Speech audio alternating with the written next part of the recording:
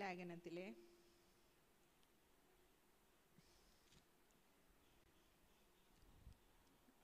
പത്താം വാക്യം. അങ്ങനെ ഇപ്പോൾ സ്വർഗത്തിൽ വാഴ്ചകൾക്കും അധികാരങ്ങൾക്കും ദൈവത്തിന്റെ ബഹുവിധമായ ജ്ഞാനം അവൻ നമ്മുടെ കർത്താവായ യേശു ക്രിസ്തുവിൽ നിവർത്തിച്ച അനാദി നിർണയപ്രകാരം സഭ മുഖാന്തരം അറിയായി വരുന്നു. ഇവിടെ അപ്പസ്വല പ്രവൃത്തികളെ പത്താം അധ്യായത്തിലെ അപ്പസ്തോലനായ പത്രോസ് പ്രാർത്ഥിച്ചുകൊണ്ടിരിക്കുമ്പോൾ സ്വർഗം തുറന്ന് ഒരു ദുപ്പട്ടി ഇറങ്ങി വന്നു. ആ ദുപ്പട്ടിക്കകത്ത് ആകാശത്തിലെ പറവിയും അതുപോലെ സകലവിധ നാൽക്കാലിയും ഇഴജാതിയും അതിനകത്തുണ്ടായിരുന്നു. എന്നിട്ട് ദൈവം പറഞ്ഞു പത്രോസിനോട് പത്രോസെ നീ അത് അറുത്ത് തിന്നുക എന്ന് ദൈവം പത്രോസിനോട് പറഞ്ഞു. അങ്ങനെ പറയുമ്പോൾ പത്രോസ് എന്ത് ചെയ്യണമായിരുന്നു അത് അറുത്ത് തിന്നണം. അവിടെ വേറൊരു ക്വസ്റ്റ്യൻ ഇല്ല. സകലത്തെയും സൃഷ്ടിച്ച ദൈവമാണ് പത്രോസിനോട് അരുളി ചെയ്യുന്നത്. നീ അത് അറുത്ത് തിന്നാന്ന് പറഞ്ഞ പത്രോസിന് പിന്നെ അവിടെ ഒരു മറുചോദ്യത്തിന്റെ ആവശ്യമില്ല. മൂന്ന് പ്രാവശ്യം ദൈവം പത്രോസിനോട് പറഞ്ഞപ്പോൾ പത്രോസ് കൂട്ടാക്കിയില്ല. പത്രോസ് പറഞ്ഞു ഞാൻ നല്ല വിശുദ്ധനാണ് കർത്താവെ അല്ലേ? അങ്ങനെയല്ല അവിടെ പറയുന്നത് മലിനമോ? അങ്ങനെയുള്ള യാതൊന്നും ഞാൻ തിന്നില്ല എന്ന് പറഞ്ഞ എന്താ? ഞാൻ തിരി വിശുദ്ധനാണ് ദുപ്പട്ടി ആകാശത്തിലേക്ക് വലിച്ചെടുക്കപ്പെട്ടു. അതിനകത്ത് മർമ്മ എനിക്ക് മനസ്സിലായത് ഇങ്ങനെയാണ്. ജാതികളും കൂടെ ഈ രക്ഷയിൽ അവകാശികളാണ്. നീ അതിനു വേണ്ടി എന്ത് ചെയ്യണം? പ്രവർത്തിക്കണം എന്ന് തന്നെയായിരുന്നു ദൈവം പത്രോസിനോട് പറഞ്ഞത്. പക്ഷെ പത്രോസിനകത്തുള്ള ജാതി സ്പിരിറ്റ് സവർണരായ യഹൂദന്മാർക്ക് മാത്രമേ ഞാൻ ചെയ്യുന്നുള്ള അവന്റെ തീരുമാനമായിരുന്നു. ഞാനത് ചെയ്യില്ല എന്ന് പറഞ്ഞത്. അങ്ങനെ ജാതികൾക്ക് ഈ സുവിശേഷം അറിയിക്കാൻ വേണ്ടി ദൈവം ശൗലായിരുന്ന പൗലോസിനെ തെരഞ്ഞെടുത്തു. നമ്മൾ വായിക്കുന്നുണ്ടല്ലോ പത്രോസ് പരിച്ഛേദനക്കാരുടെ ഇടയിലും പൗലോസ് ജാതികളുടെ ഇടയിലും സുവിശേഷം അറിയിപ്പാൻ വന്നു. അങ്ങനെ അപ്പസ്വനായ പൗലോസ് എഫ് എസ് എഴുതിയ ലേഖനത്തിലൊരു വാക്യമാണ് ഞാൻ വായിച്ചത്. ഈ പൗലോസ് ജാതി ഇത് എഴുതുമ്പോൾ എഫ് എസ് ഈ ലേഖനം എഴുതുമ്പോൾ പൗലോസ് ജയിൽ അടയ്ക്കപ്പെട്ടതായിരുന്നു. ജയിൽ അടയ്ക്കപ്പെടുവാൻ കാരണം ജാതികളോട് കർത്താവിനെ കുറിച്ച് പ്രസംഗിച്ചു അല്ലെങ്കിൽ കർത്താവിന്റെ സദ്വർത്തമാനം അറിയിച്ചു എന്നുള്ള ഒരൊറ്റ കാരണത്താലാണ് പൗലോസ് ജയിലിൽ അടയ്ക്കപ്പെട്ടത്.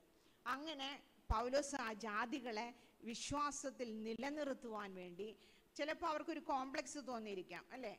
ഇപ്പോൾ സഭയ്ക്കകത്തായാലും ചിലപ്പോൾ നമുക്ക് ഫീൽ ചെയ്യുന്ന ഒരു കാര്യമുണ്ട്. അവരെ കൂടുതൽ മാനിച്ചു ഇവരെ എന്നെ കുറച്ച് അങ്ങനെ നമുക്കൊരു ചിന്ത വരാറുണ്ട്. ഞാൻ ചിന്തിക്കുന്നതാട്ടോ അത്.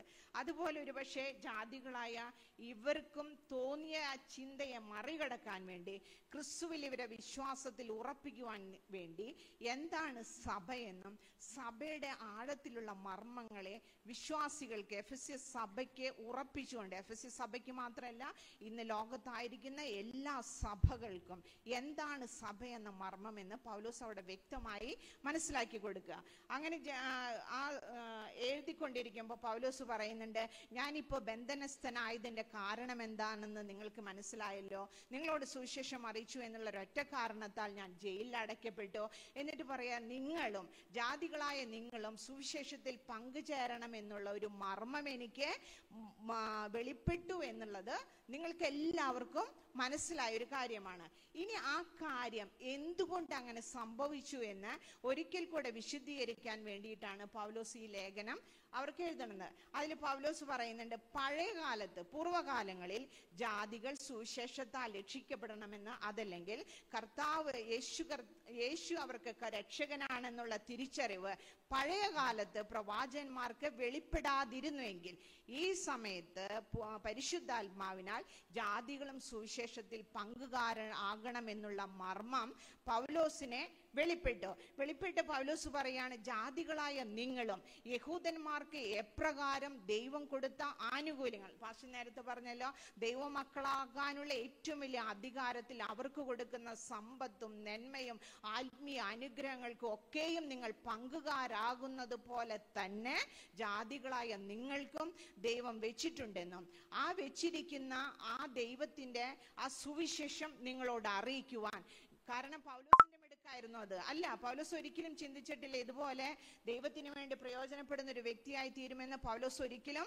ചിന്തിച്ചിട്ടില്ല. ദൈവത്തിന്റെ മുൻ നിർണയപ്രകാരമായിരുന്നു ആരെ? പൗലോസ് ശക്തനായ ഒരു അഭിഷിക്തനായി തീർന്നത്. അങ്ങനെ അഭിഷിക്തനായി ദൈവം എന്നെ അഭിഷിക്തനാക്കി. ആ സുവിശേഷ വേല ചെയ്യുവാൻ വേണ്ടുന്ന ശക്തിയും ബലവും കൃപയും ആര് നൽകി? ഉയരത്തിൽ നിന്ന് സ്വർഗത്തിലെ ദൈവം പൗലോസിനെ നൽകി. എന്നിട്ട് പൗലോസ് ഇവിടെ പറയാണ് അത് പ്രസംഗിക്കാനുള്ള ഭാഗ്യം എനിക്ക് കിട്ടി. അതാണ് ഞാൻ നിങ്ങളോട് ഇതുവരെ സുവിശേഷിച്ചുകൊണ്ടിരിക്കുന്നത്.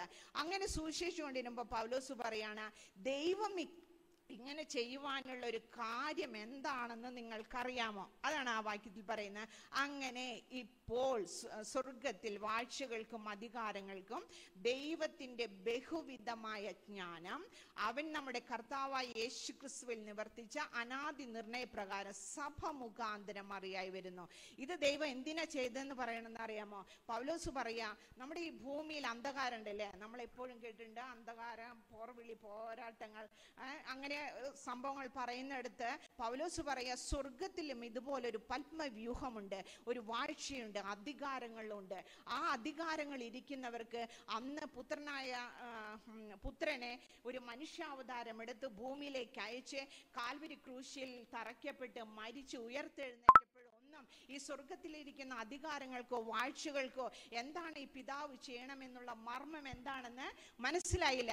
പക്ഷേ ഇന്ന് അവർക്ക് മനസ്സിലാവുന്നത് എങ്ങനെയാണെന്നോ ഈ സഭ മുഖാന്തരം ക്രിസ്തുവേശുവിൽ ദൂരസ്ഥരാക്കപ്പെട്ട നിങ്ങൾ ജാതികളായ നിങ്ങളും യേശു ക്രിസ്തുവിന്റെ ശരീരത്തിലൂടെ നിങ്ങൾ ഒന്നാക്കി തീർത്ത് സഭ എന്ന ദൈവത്തിന്റെ അനാദി കാലം മുതൽ മറഞ്ഞു കിടക്കുന്ന ആ മർമ്മം സഭയിലൂടെ പ്രസ്താവിക്കുമ്പോൾ ഇതറിയുന്നത് നമ്മൾ മാത്രമല്ല സ്വർഗ ലോകത്തിലിരിക്കുന്ന വാഴ്ചകളും അധികാരങ്ങളും ഭരണവും ഇത് ശ്രദ്ധിച്ചുകൊണ്ടിരിക്കുക അവർക്കിത് മനസ്സിലാവണത് അന്നും അവർക്ക് മനസ്സിലാവാത്തൊരു മർമ്മം ഇന്ന് അവർക്ക് മനസ്സിലാവോ ഓ ദൈവത്തിന്റെ ജ്ഞാനം എത്ര സമ്പൂർണമാണെന്ന് എങ്ങനെയാണ് നമ്മളൊക്കെ ഇങ്ങനെ കൂടിയിരുന്ന് സഭയിൽ ആരാധിക്കുമ്പോഴും കൂടി വരുമ്പോഴും കൂട്ടായ്മ ആചരിക്കുമ്പോഴാണ് സ്വർഗത്തിലിരിക്കുന്ന ഈ അധികാരങ്ങൾക്കും വാഴ്ചകൾക്കും പിടുത്തം കിട്ടുന്നത് ദൈവത്തിന്റെ.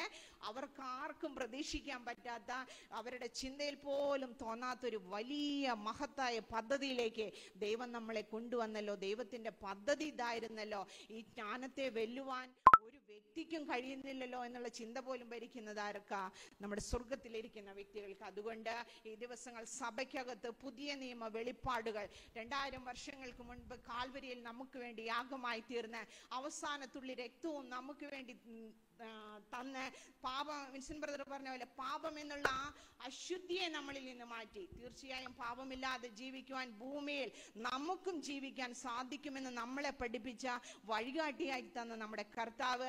അതിനുവേണ്ടി ആത്മാവിന്റെ അഭിഷേകം നമ്മളിൽ പകർന്ന് ജയത്തോടെ ഈ ഭൂമിയിൽ ജീവിക്കുവാൻ തക്കവണ്ണം ഒരുക്കി തന്ന ആ കർത്താവിന്റെ വലിയ പ്രവൃത്തികളെ കാൽവരിയിൽ ചെയ്ത ആ മഹനീയ പ്രവൃത്തികളെ സംസാരിക്കാൻ ഇന്നത്തെ സഭകളിൽ ദൈവത്തിന്റെ ആത്മാവ് സഹായിക്കട്ടെ എന്ന് പ്രാർത്ഥിച്ചുകൊണ്ട് ഞാൻ എന്റെ താങ്ക് യു മേരി ചേച്ചി. നല്ലൊരു മെസ്സേജ് ഞങ്ങൾക്ക് നൽകിയതിന്.